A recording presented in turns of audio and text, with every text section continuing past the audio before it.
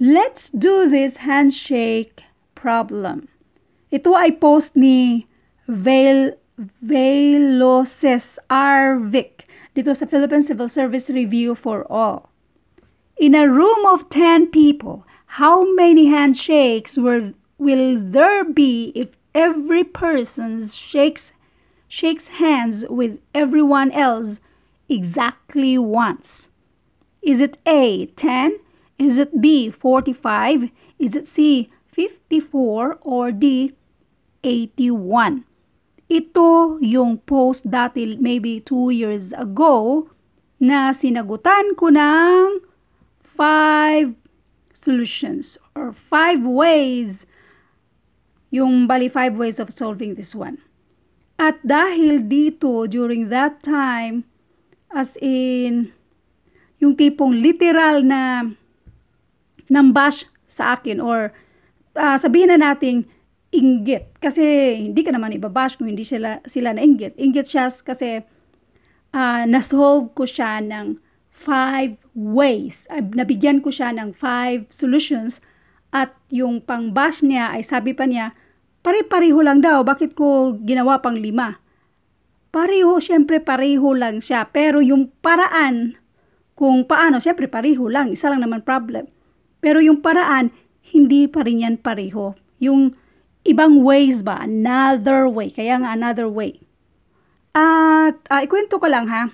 Tapos yung nambash sa akin, uh, sa tingin ko naman ay magaling siya sa math. Kaso lang parang na, na-ember na ba yung beauty niya na isang katulad ko lang na uh, magaling din sa math. Yung tipong sino, sino pa ba ang gagaling pa sa kanya? Parang ganon. So, hindi niya kayang magawa ng limang solusyon. So, tiningnan niya, uh, sinabi na lahat ng pangit dito. Wala naman akong nakikita ang pangit, pero may tao talagang ganyan na, ano tawag dito, hahanapan ka ng pangit kasi ayaw nilang malamangan sila. Yung ganun. Okay. So, dito, oh, may mga 15 tayong heart reaction, mga wow reaction. Thank you for them. Pero, hindi pa ako nakagawa ng video nito So ngayon, isa-isahin natin. Nandyan naman lang yan. So explain ko na lang siya.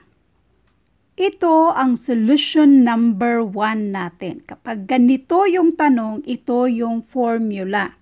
Okay. Kung ano man ang pinaka-exact name dito, just comment down below. Ito ay sampo. Ten sila. Mag-choose ka ng dalawa kasi sila yung mag-shake hands. So, ito na yon. Isulat ko pa ba?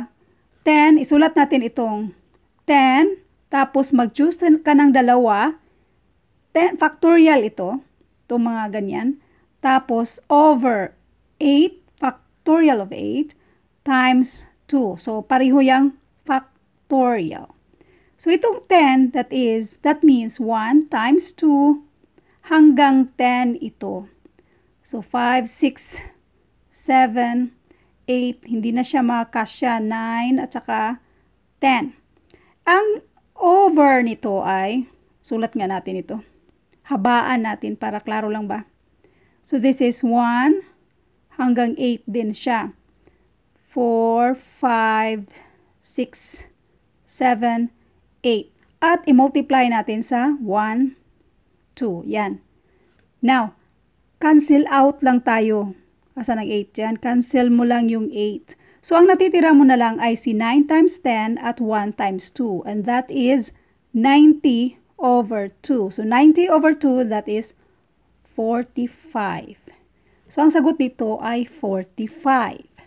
Ngayon, ito yung solution number 2. 10 students. So, let A hanggang J, yan yung 10 students natin. Now, uh, shake, shake, shakes hands with nine other students. So, itong si A ba? So, nine, itong nine, naka-handshakes for A. Wait. So, bali, uh, nine ang, na nine ang naka-handshake ni A. Okay? Now, ito namang si B shakes hands with nine other students. But no need to count again kay A. Kasi tapos na si A, nag-shake hands na siya sa lahat. Tapos si B na naman, hindi mo na i-count yung sinishake hand niya ni A.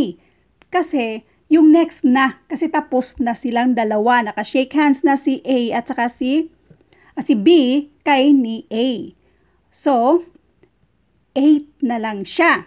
Now, ito namang si C, okay? Si student C, nag-shakes hands siya sa nine other student pero hindi mo na i-count yung pag-shake hand nila ni B at saka ni C. Kasi nga, tapos na. So, 7 yan siya. Nakita nyo yung pattern. Okay. Si A, 9 ang i-shake hands niya. Si B, 8 na lang ang i-shake hands niya kasi counted na ba? Tapos naman, na-count naman yan na nag-shake hands si B kay ni A, counted na dito sa 9. Tapos si C, 7 na lang ang i-shake hands niya kasi counted na yan dito. Naka-shake hands na siya dyan. Tapos si D, 6 na lang kasi naka-shake hands na siya dito sa tatlo.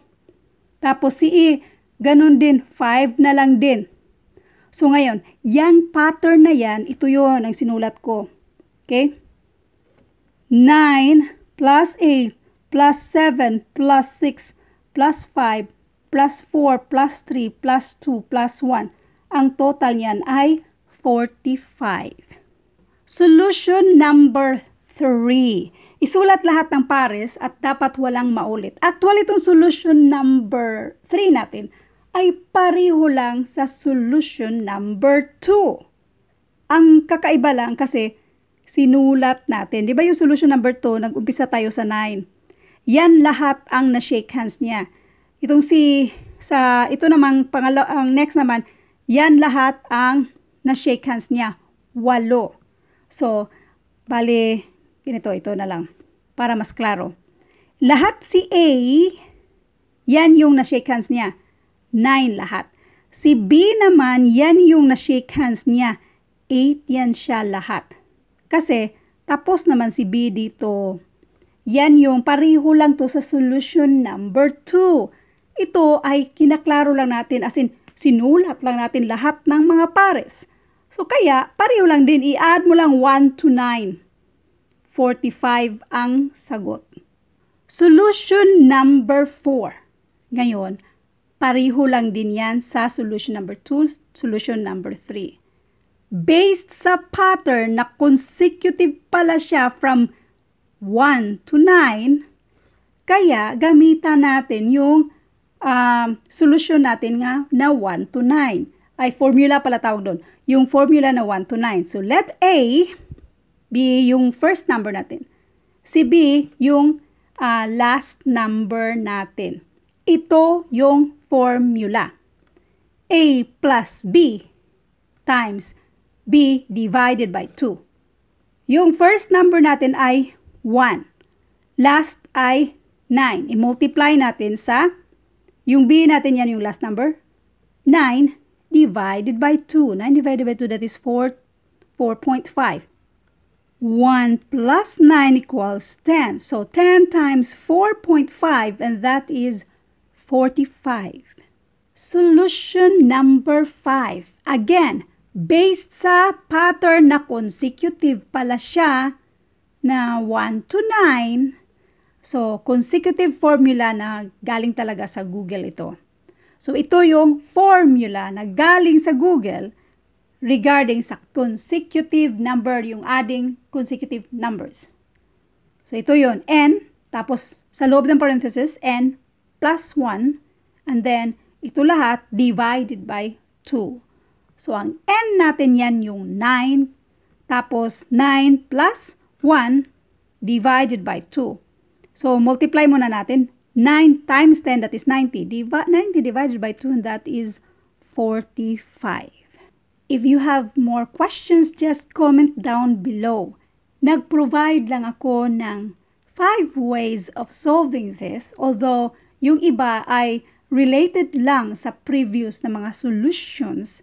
Pero this is, para sa akin ha, this is the best way na sana makita nyo lahat ng mga corners dito kung paano siya isolve or para makasolve kayo ng mga ganitong problem. There are many ways to solve this. Ang importante lang makuha nyo yung tamang sagot.